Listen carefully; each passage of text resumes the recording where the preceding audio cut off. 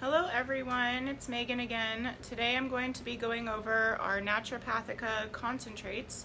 So what a concentrate does for the skin is it kind of sets and rebalances whatever issue you're going through. So we usually have these for seasons like spring, summer, winter, fall, and all of that, but just kind of depending on where your skin's at, you can choose one. So a concentrate you use for a month on and a month off.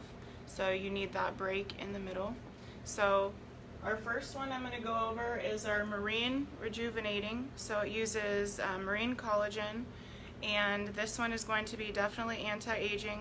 So if you're having extra dry, um, those fine lines and wrinkles, you can get a really good reset with the Marine. Now our Alpine Rose is if you've been seeing a lot of redness and inflammation and if your skin feels irritated, this one's going to be uh, very calming and soothing.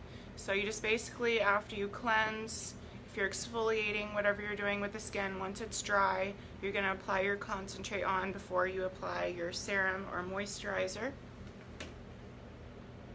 Our next one we have is our Neroli. So this one is going to be really good for um, acneic clients. It's going to really get in there and help cleanse out that oil and that bacteria in the skin. So um, anyone who's breakout prone, that one's a really good one for you. And lastly, we have our ginger clarifying. So this one is going to be really good for um, antioxidants and just really getting that like detoxifying in the skin, which I would say all of us need right now. So um, a concentrate you just want to add into your skincare routine to just kind of spice it up and do a little more if you want to see better results and how healthy your skin is.